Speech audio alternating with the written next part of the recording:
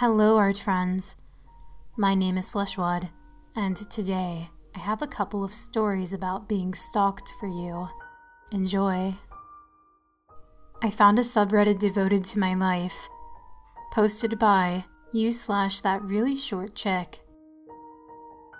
I know this is going to make me sound crazy.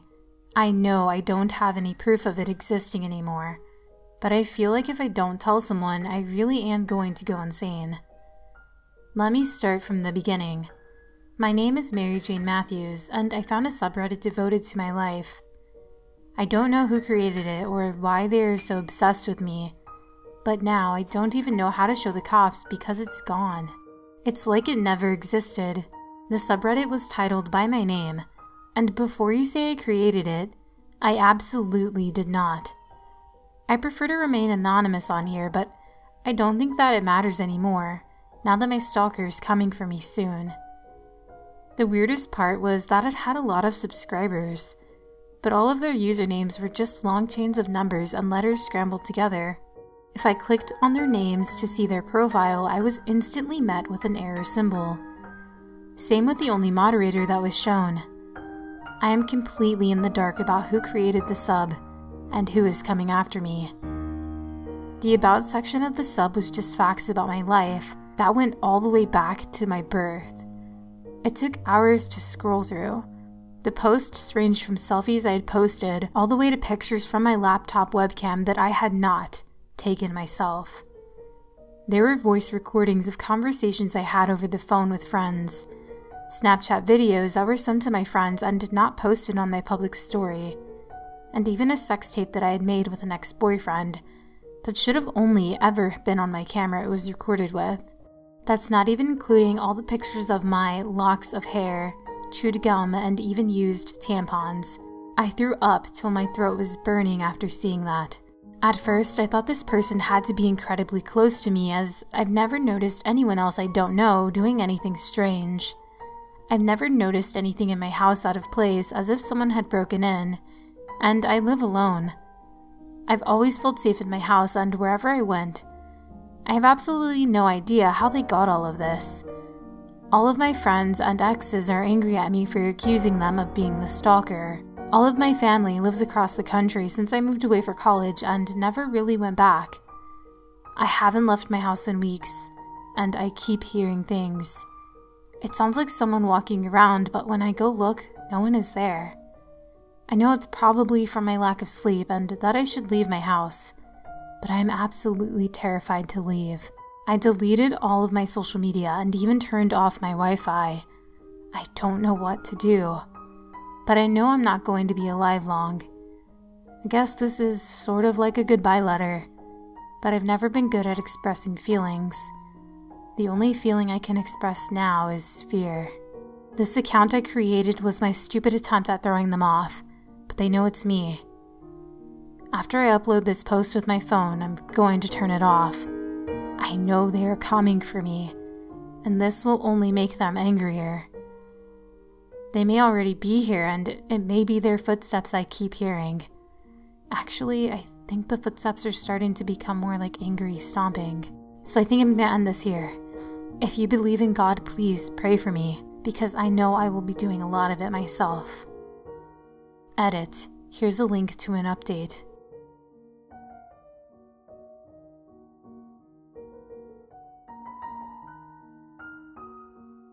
I wasn't planning on giving an update, mainly because I thought I would be dead by now, but I figured it was time for one.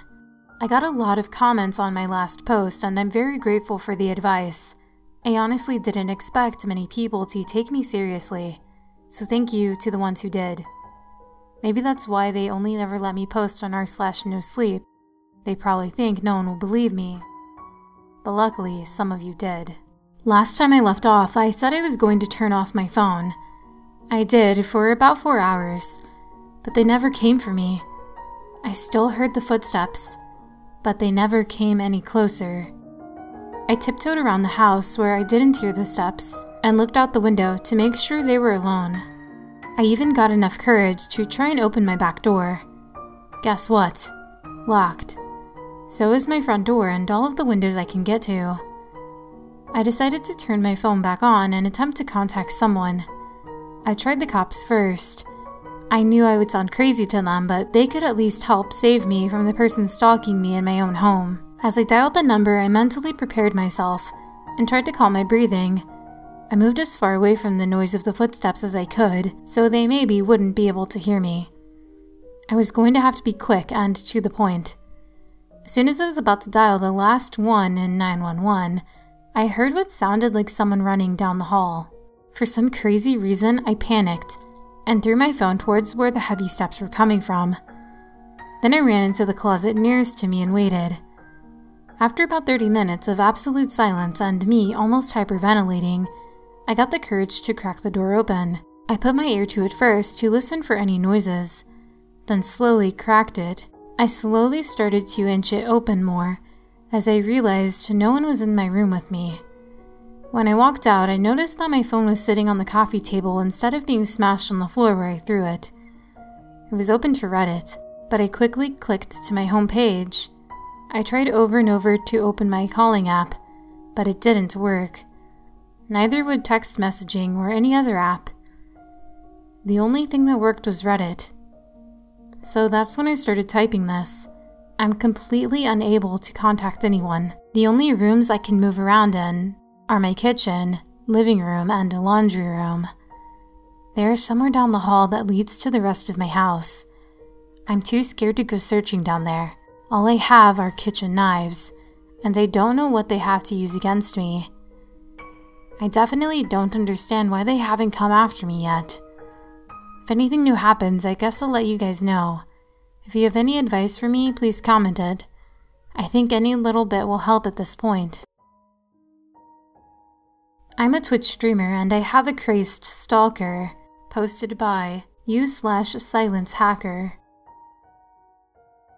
I've been a Twitch streamer ever since my YouTube channel got permanently suspended after some questionable decisions I've made. Despite this, my loyal fans still follow me wherever I go on the digital landscape we call the internet. Especially this one obsessed fan I've recently received numerous emails from.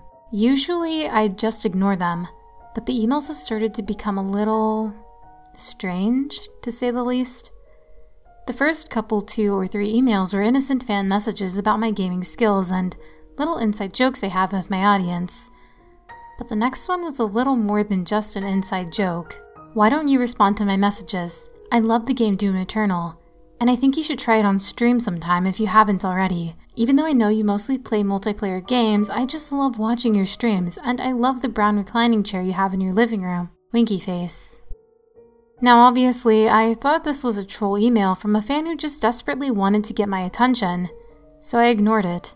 But then the emails got more specific. The next one was Are you still ignoring me? I was wondering if you were willing to let me come over to hang out. We could do a 24 hour stream together.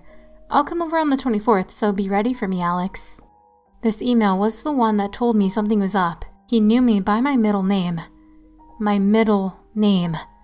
I've never shared that information with anybody, though I figured it wouldn't be hard for someone to find out my full name if they did enough research. So I figured he or she was just trying to grab my attention again. A part of me was really tense about the date he chose to tell me about, the 24th.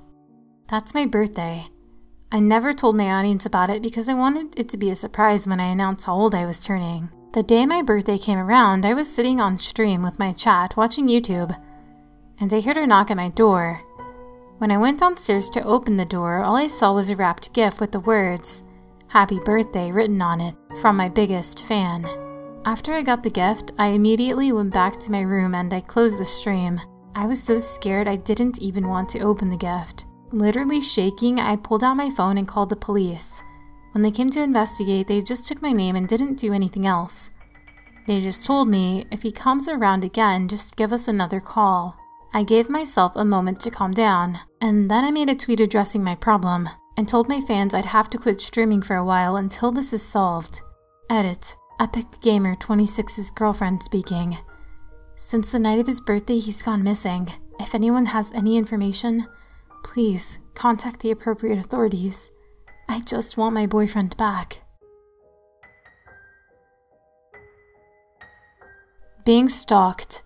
Posted by u slash GG 2020XX. I was about 18 and I got into a really short but violent relationship with an absolute omen. Being blunt, he was awful. He held a knife to my belly when I was pregnant.